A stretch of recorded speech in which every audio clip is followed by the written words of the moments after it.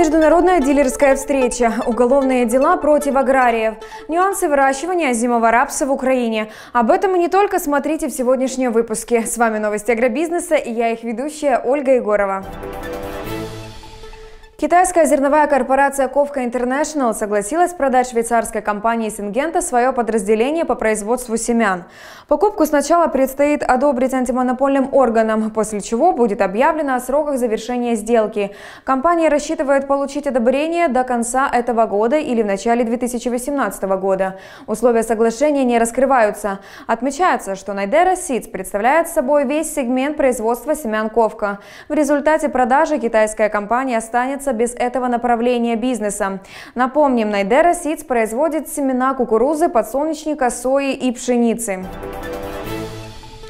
Организация USD Tech World, в которую входят известные мировые издания сельхозтехники, организует спиддейтинг среди дилеров техники со всего мира.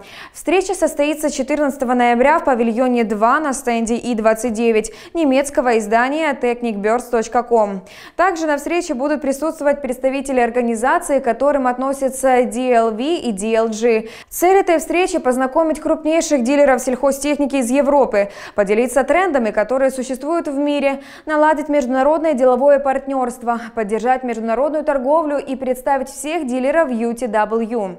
Количество участников ограничено. Подробная информация можно узнать на сайте latifundist.com.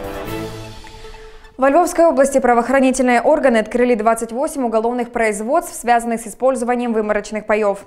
Произошло это из-за того, что существует отсутствие определенности в юридическом статусе выморочных земель, которое не дает возможности оформить право пользования земельным участком в едином определенном законодательством порядке.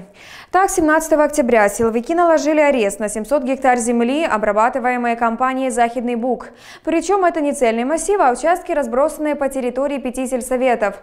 Если налагается арест на выморочные участки и посевы без права распоряжения и использования, полностью останавливается весь рабочий процесс, сообщил глава наблюдательного совета аграриев Львовщины Юрий Однорик. Параллельно во Львовской области идут судебные разбирательства о признании недействительными решений сессий сельсоветов о передаче в аренду выморочных паев. Напомним, в Украине сейчас насчитывается около 1 миллиона 800 тысяч гектар неунаследованных земельных участков сельскохозяйственного назначения.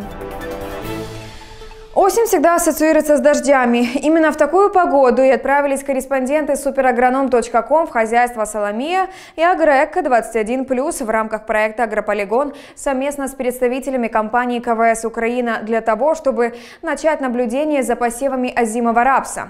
Как обстоят дела у аграриев, читайте на latifundist.com. С вами были новости агробизнеса. Всего хорошего и увидимся завтра.